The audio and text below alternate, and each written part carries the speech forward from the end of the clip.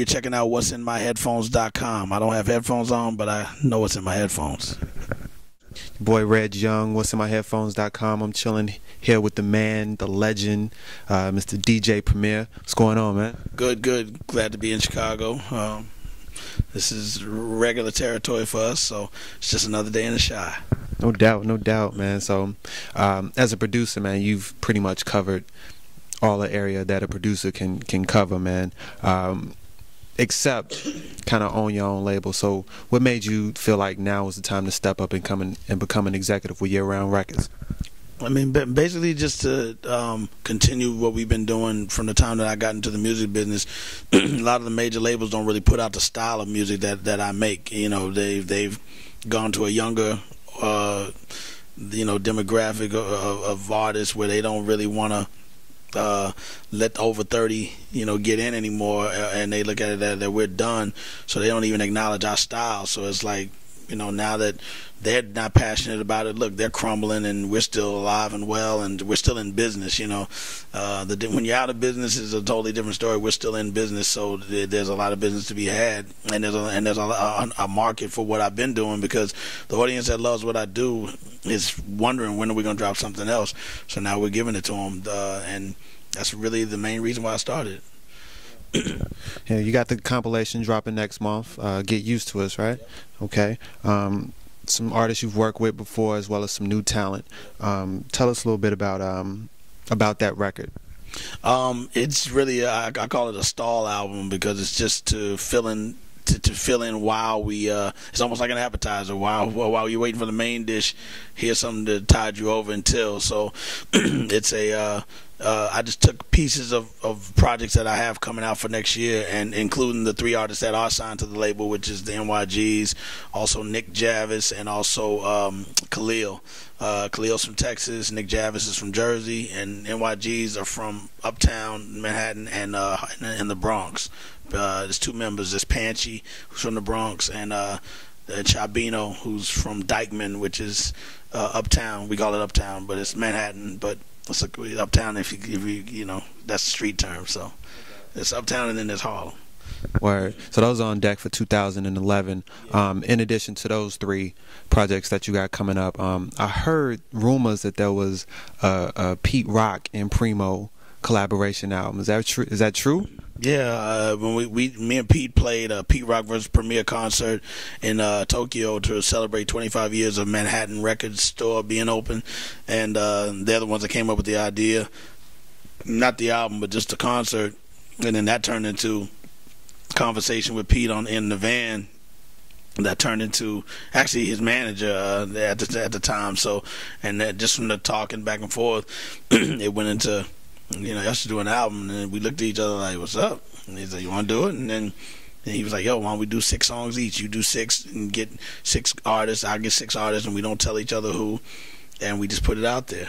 But uh, Pete had leaked out a couple of people that he was using, that he was uh, gonna have on the album. And I'm like, I thought we ain't supposed to tell nobody.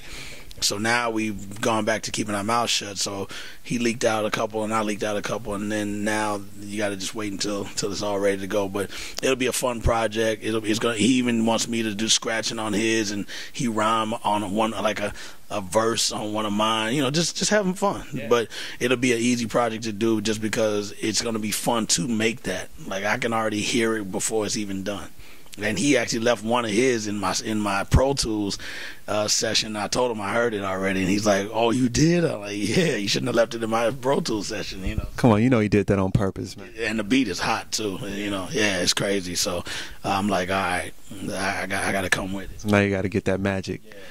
No doubt So yeah, Pete Rock versus Premier will be next year, and uh, also Return of the Boom Bap with KRS One, which is the second installment of Return of the Boom Bap. And, you know, just continuing on that. That'll be fun because KRS is real quick, and he, you know, like he could do an album in two weeks and it's just he already just knows what to do. It's like instant, and so it's so easy and more fun to do it with those types of artists because it just comes it, just comes out right, you know. Especially after working with him on Boom Bap, I understand his work uh, method, and he's just that fast, you know and, and he he has, he commands so much in the hip hop world. It's KRS, you know. Oh, no doubt, man. That's cool. 2011 shaping up to be crazy for you, no doubt. Um, some of the artists that you haven't worked with. I mean, you've worked with everybody. You know, Christina Aguilera, Jay Z, you know, Guru, rest in peace. Big Shug, everybody. I mean, I even heard like a maxi single back in the day. You had did a remix with Brandy. You know what I'm saying? It was yeah, it's crazy. So I mean, who out there haven't you worked with yet that you would like to? Definitely Ghostface. Uh, we were on the Rock the Bells tour and talked about hopefully working together. Uh, I'd love to work with him. Uh, me and Raekwon have talked about working together. Uh, you know, of course, Buster. We're, we're, we're working on getting it right now to get on his album. So, you know, him. I just worked with Game and did a joint for his album. Uh, so it's called Born in the Trap. That came out dope. Um, so, um, who, who else? Uh, um, want to work with Drake. I'd like to work with him. I'd like to work with J. Cole. Nicki Minaj. I'd like to work with her too. I'd like to work with Lil Wayne. No doubt, man. No doubt. Um, about that, um, there was some, some, some things on the on the net. Eminem too. Eminem got got got, got to get Slim, Slim Shady on there. So I can already hear that. He spoke to about doing something. So you know, down the line, you know, I'd like I'd like to work with Dr. Dre too. Have him spit over one of my beats, hell yeah. Dre, Dre, Dre knows how to.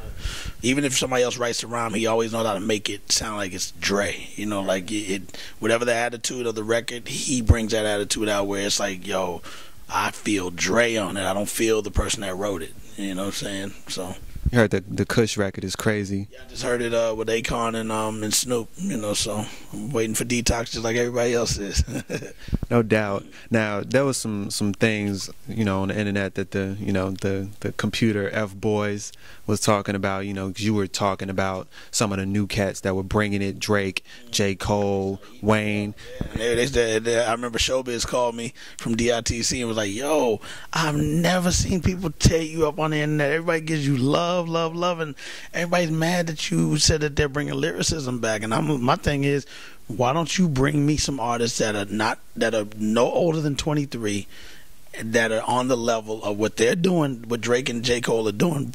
Bring them or send me an MP3 put or put it up on a blog or something. Where are those other artists that are equivalent to what you're against?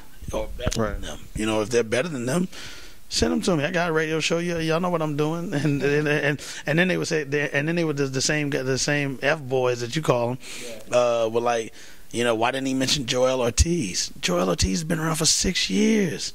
So y'all are late.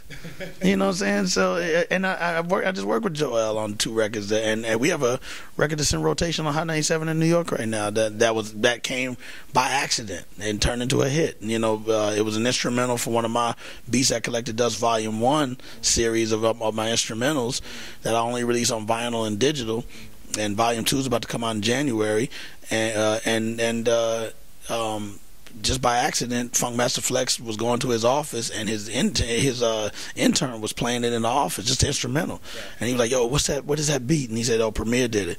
He's like, "Who's rhyming on?" it? He said, "Nobody. It's an instrumental album." He said, "Give me that." Gave it to Flex. Flex played. I was on tour in Europe, so I didn't know. Uh, Flex played it on the radio, just bumping the instrumental, like, "Yo, this is gut." And he goes, "Yo, Joell Ortiz, I can hear you spitting on that." That's why he says, "Yo, Flex, I got the kite. I was tuned in Saturday night because he heard him say it." So he was like, "Give." He reached out to Flex, said, "Give me the beat." And then he spit on it. I got home from Europe, and everybody's like, "Yo, Flex is killing that joint you did." And I'm like, "What joint?" Because I knew I didn't have anything ready to go. And he like, "That joint off your instrumental album." I'm like, "My instrumental album?" Because I knew that it, had come out. Yeah. So I'm like, "What beat?" And they said, "I don't know what it's called, but you know, it makes that thing at the beginning." And and I'm like, let me call Flex. Call Flex the next day and was like, yo, what's going on? And he told me the deal. He's like, yo, I wouldn't mind having another verse on there and some scratches. I was like, you know what? Let me call Joell. Call Joell. He said, all right, I'll go and do some more. He said, but put the scratches on it first so I could feel it. Did the scratches, sent it back to him. He sent it back to me with three verses, but we only used two. So on my album, I'm going to put it on there too as a Sing Like Bilal record, but I'm going to add the verse that nobody heard along with it. So it's gonna be a three verse instead of the two. So no one's heard this verse, and he killed that one too. And then I'm gonna do a little extra ending with the scratches. So, so I'm gonna call it version three. A has got to be the shot. And it's like that. A has got to be the shot. And it's like that.